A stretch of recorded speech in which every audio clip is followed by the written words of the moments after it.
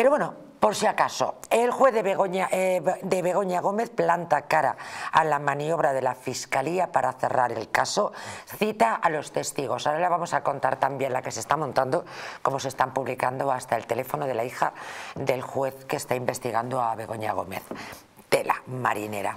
Buenas noches, María José, ante todo. Y encantado, Muy buenas como noches, compañero. Pues se trata, María José, se trata pues de otro asunto más relacionado con la presunta corrupción de la Fiscalía, que está al servicio, como todos sabemos, del Gobierno. En este caso, la Fiscalía Provincial de Madrid, que está al servicio del Fiscal General del Estado. Está sometida al Ejecutivo y sometida, por supuesto, a Sánchez. Eh, veremos a ver, pero eh, Begoña Gómez no hace falta que se busque ningún abogado. Ya tiene, ya tiene a la fiscal eh, provincial de Madrid y al fiscal general del Estado como abogados defensores. Eh, voy, a, voy, a, decir primeramente, con tu permiso, María José, eh, brevemente lo que ha salido en, prensa, muy brevemente, para que los telespectadores puedan pues percibir este, este, este, asunto de forma global y en retrospectiva. Recordemos que Manos Limpias registró una denuncia contra Begoña Gómez por la comisión, en virtud de la comisión de dos delitos, tráfico de influencias, contemplado en el artículo 428, 429 y 430 del Código Penal, y corrupción en los negocios, artículo 286 del Código Penal, ante el juzgado de instrucción número 41 de Madrid. Este, este juez, el titular de este juzgado que acabo de mencionar, pues dictó un auto, dictó un auto eh, por el cual se abrían diligencias, eh, se incoaban diligencias de investigación y la fiscal provincial de Madrid, antes de las 24 horas que pasaran desde que se dictó este auto por parte del juez de instrucción número 41 de Madrid, pues recurrió, recurrió este auto, es decir, pretende la revocación del auto y el archivo de la causa. Ha interpuesto un eh, recurso de apelación ante la Audiencia Provincial de Madrid.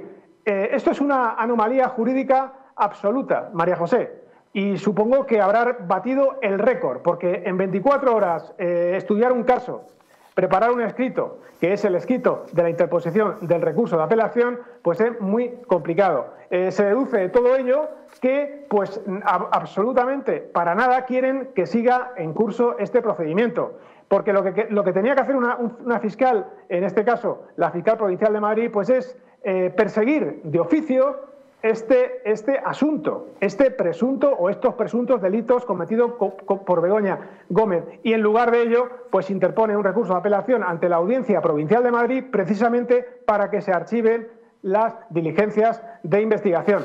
Eh, pero ¿qué, ocurre? Pues que este, este recurso de apelación ante la Audiencia Provincial pues puede tardar en resolverse un mes y medio, dos meses, un mes como mínimo, eh, la audiencia provincial tiene este margen, habitualmente menos de un mes, menos de un mes es imposible que se resuelva este recurso de apelación. Y durante este tiempo, durante este tiempo, el juez de instrucción número 41 puede seguir perfectamente con el procedimiento. Es decir, en primera instancia, pues ya ha llamado a declarar a los testigos el 13 de mayo. Estos testigos son los periodistas, los periodistas que han firmado sus eh, informaciones eh, y en base a estas informaciones se ha, argumentado la demanda, perdón, la denuncia, perdón, la denuncia de manos limpias. Por tanto, eh, es muy importante, y esta es la clave de todo, María José, es muy importante la declaración de estos testigos, de estos periodistas, porque, porque en base a estas declaraciones, el juez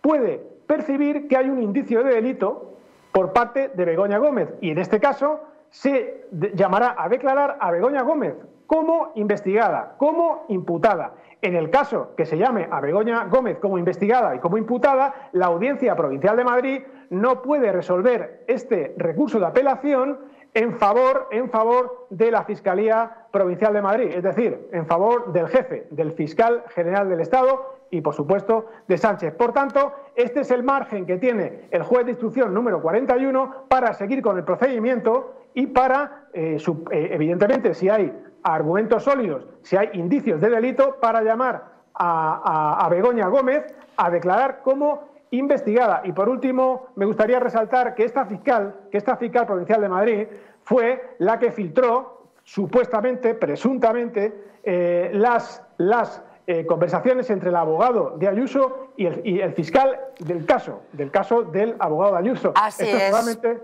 ilegal. Y, por último está investigada por este asunto. Por tanto, eh, se trata de una fiscal que, pues, que tiene una sospecha de corrupción presuntamente, María José. Muchas gracias, Lucio Muñoz. Un abrazo. Un abrazo para todos.